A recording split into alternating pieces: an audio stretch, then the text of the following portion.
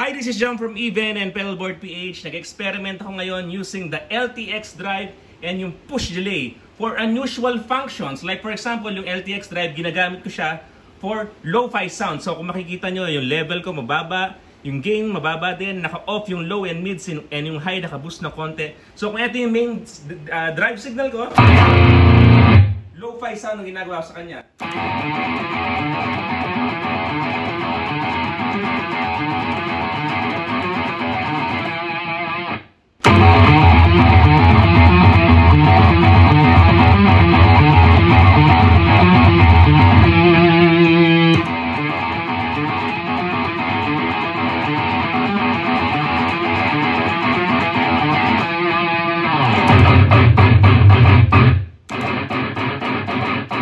So, ganun ko siya ginagawa. So, no, uh, after ng main distortion ko, yung LTX drive. So, yung push delay naman, ginagawa, ginagamit ko siya not for delay, but for ambient noises. So, for example, nasa clean channel ako. Alright,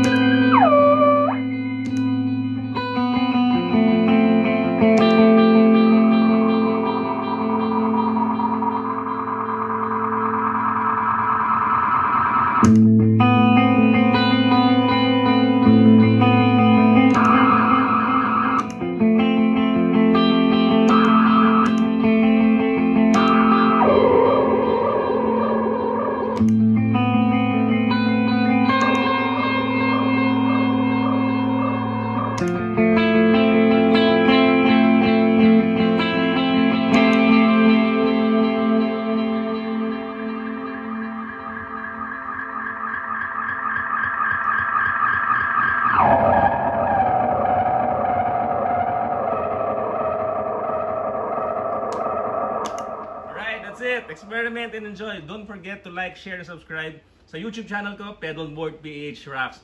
Mabibili to sa Jolly Music, of course. So, lalagay ko lahat ng link sa description.